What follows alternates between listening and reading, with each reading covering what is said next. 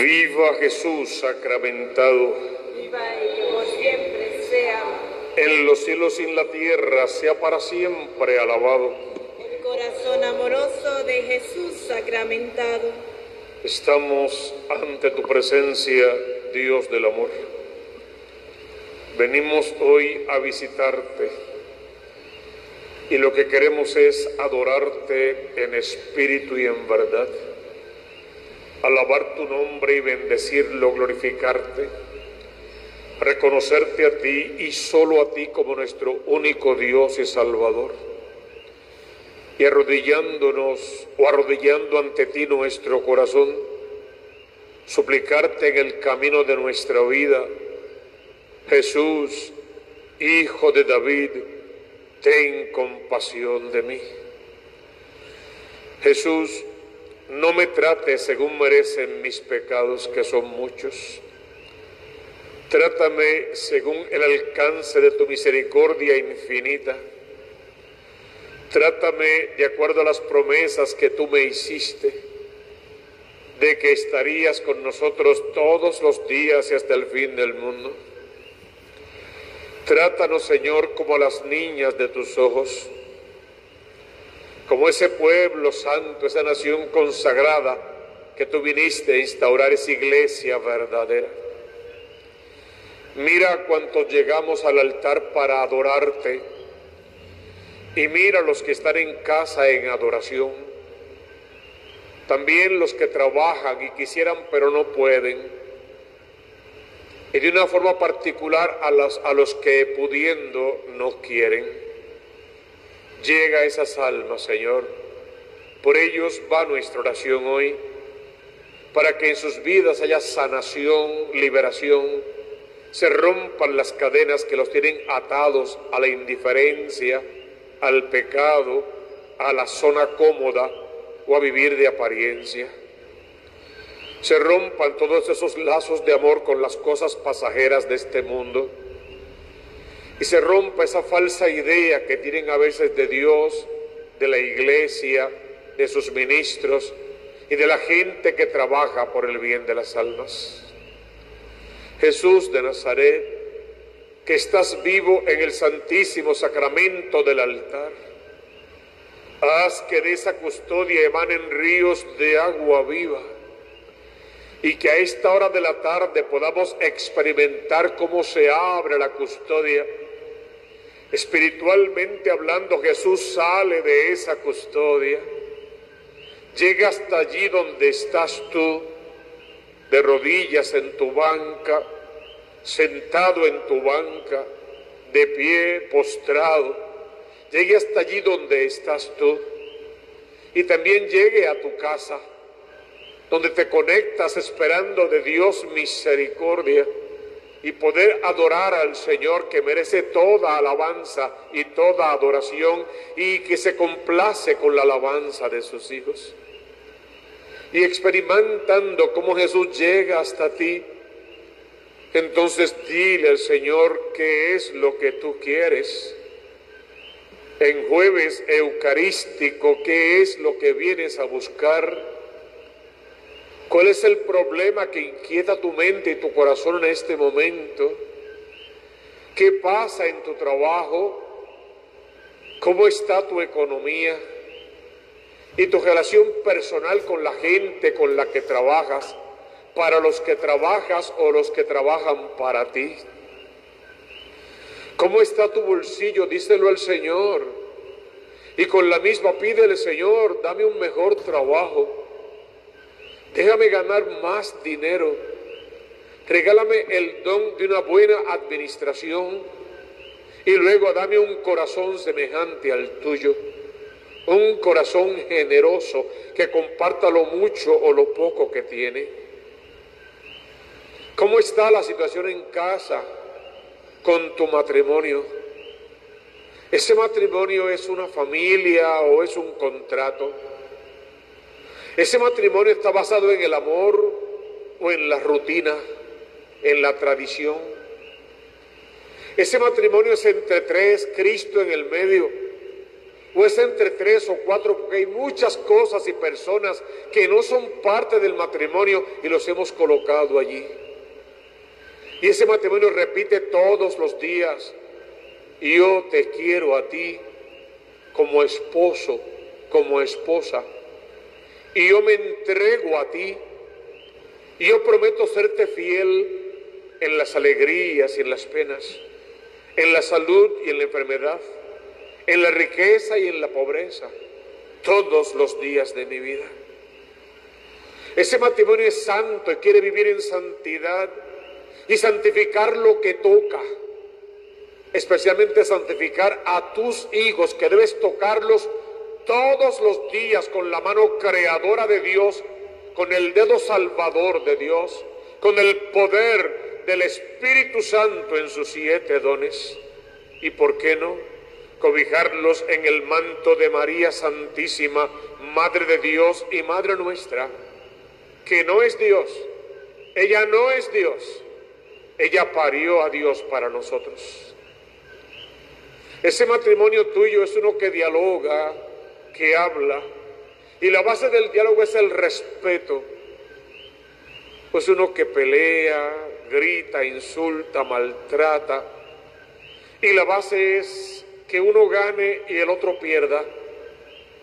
Y por lo general cuando jugamos el juego que todos jugamos, donde uno gana y otro pierde, al final todos salimos perdiendo.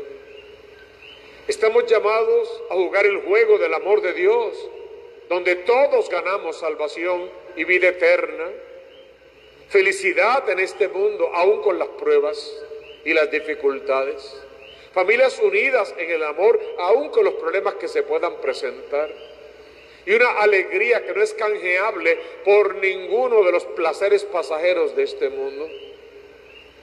Que tu casa sea de Dios, que tu matrimonio sea santo como el matrimonio de Nazaret, y que tus hijos sean educados para Dios, hijos, nietos y bisnietos, y crezcan en sabiduría, en estatura y en gracia delante de Dios y delante de los hombres.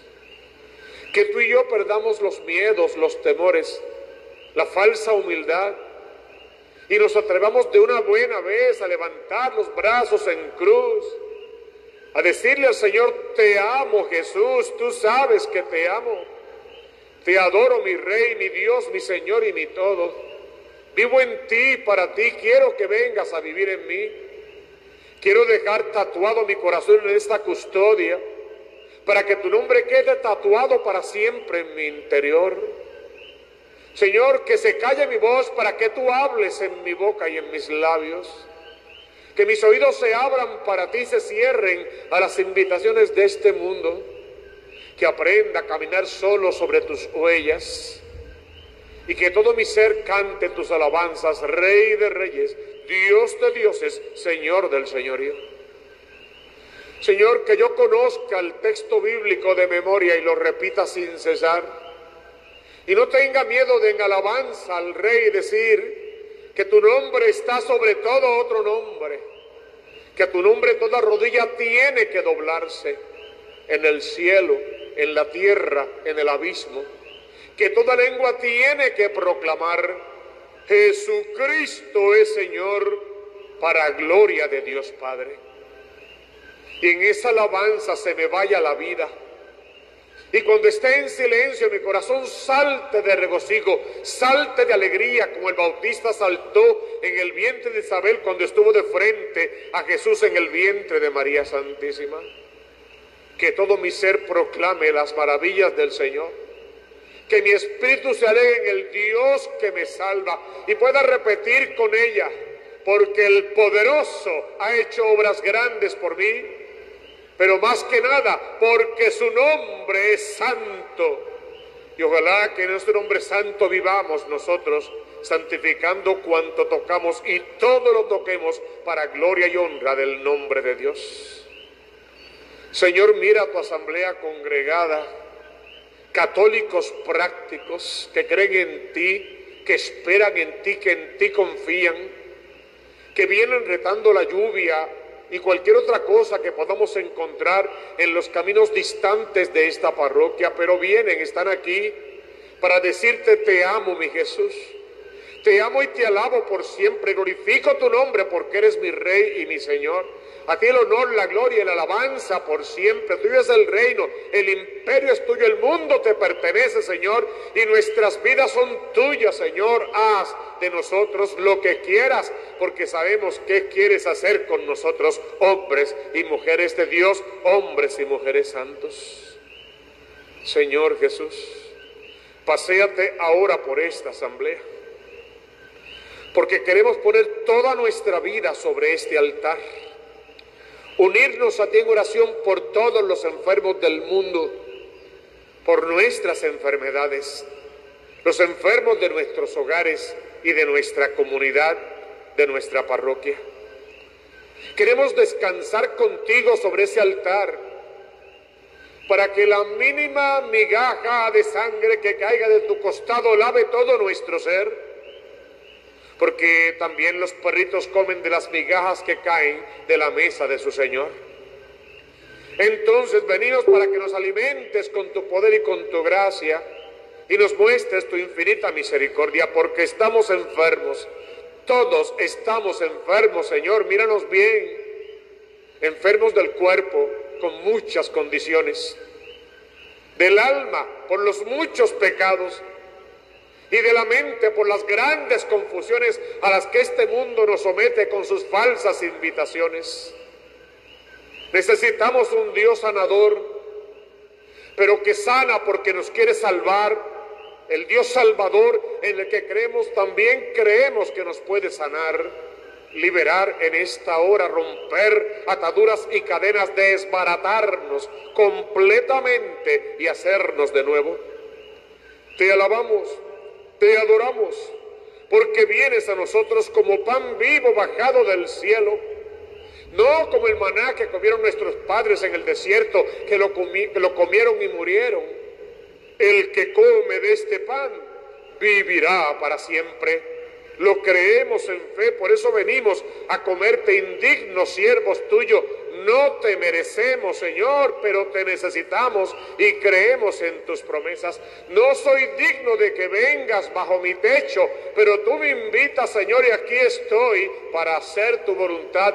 Dilo de palabra y tu sirviente sanará, porque tu palabra tiene poder. Cada verso bíblico es un cántico de alabanza y una enseñanza para las almas sedientas de ti. Te alabamos te adoramos, porque vienes a nosotros, Señor, día a día, porque te dejas comer por tus hijos, porque eres la perfección de la vida. Tú eres la resurrección, tú eres la vida, tú eres la promesa de vida eterna y creemos en esa promesa porque tú, oh Dios, eres un Dios de promesas cumplidas. Señor, tú eres la salud de los que están enfermos, tú eres nuestra salud. Hermano, aquí o en casa, habla con Dios. Tu enfermedad, entrégasela. Déjala sobre ese altar. Déjala pegada a esa custodia, tu enfermedad, si la conoces, entrégala. Ahí está la medicina por excelencia, el médico y la medicina. Ahí está el Dios que se fija en ti, no para acusarte con un dedo acusador, sino para sanarte, liberarte, salvarte, con un dedo creador que te crea y te recrea como hijo amado de Dios. Eres el eterno presente y lo conoces todo. Ahora, Señor, te pedimos que seas misericordioso con todos los enfermos y con nuestras enfermedades. Y que todos entendamos que todavía estás vivo en tu iglesia en la iglesia verdadera, en la de los siete sacramentos, Eucaristía y confesión, en la iglesia del Cristo que merece toda alabanza y que es el único y verdadero Dios, único mediador entre Dios y los hombres. Estás vivo en tu iglesia hoy Iglesia que se renueva todos los días en su fe y en su confianza en ti. Por eso te suplicamos, Señor, atrae hacia ti a todos aquellos católicos que por una razón u otra se han alejado. Señor, muéstrales el camino, déjales ver su error y su equivocación. Llámalos por su nombre, tómalos de la mano y tráelos de vuelta a la casa de papá a instancias del Hijo pródigo compasión a los que sufren en el cuerpo, a los que sufren en el alma, en el corazón, en la mente, a los que han olvidado cómo orar, cómo hablar contigo, Señor, cómo entregarse a ti y cómo oír tu voz que definitivamente es distinta a cualquiera otra voz invitacional de este mundo. Queremos, Señor, que esta tarde santa y a través del Espíritu Santo en sus siete dones, todos seamos renovados, renovados en el Espíritu Santo, renovados para ti, Señor, preparados para acercarnos en breve a comerte vivo en la Eucaristía y a salir como custodias que llevan al Cristo y llegar a nuestros hogares para derramarnos en bendiciones en la sala de nuestro hogar y que toda la casa se inunde de ti, para que todos los cimientos de ese hogar tiendan a ti y los que viven ahí abran su corazón y tengan un encuentro personal contigo y en adelante no sean incrédulos, sino creyentes y volviendo a tu casa, papá, juntos podamos hacer de este mundo un mundo en el que bien valga la pena vivir. A partir de ahora te lo pedimos, Señor. Bendícenos a todos. Devuélvenos la salud. Haz que crezca y aumente nuestra fe.